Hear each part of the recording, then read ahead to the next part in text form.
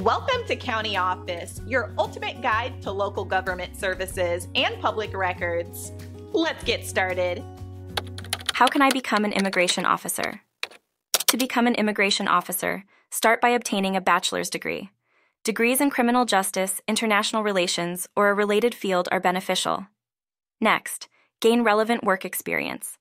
Experience in law enforcement, security, or customer service can be helpful then apply for a position with U.S. Citizenship and Immigration Services, USCIS, or U.S. Customs and Border Protection, CBP.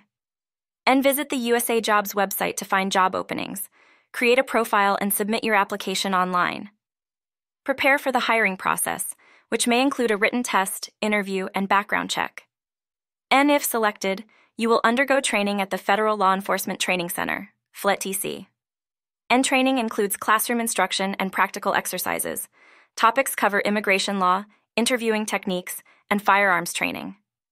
After training, you will be assigned to a duty station. Be prepared for possible relocation. Maintain physical fitness, as the job can be physically demanding. Continue your education and training to advance in your career. And stay updated on immigration laws and policies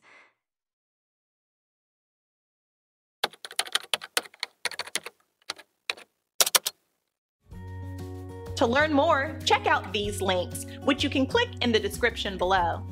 And feel free to comment your questions. We're here to help. Thanks for tuning in to our video. Please like and subscribe and leave a comment below.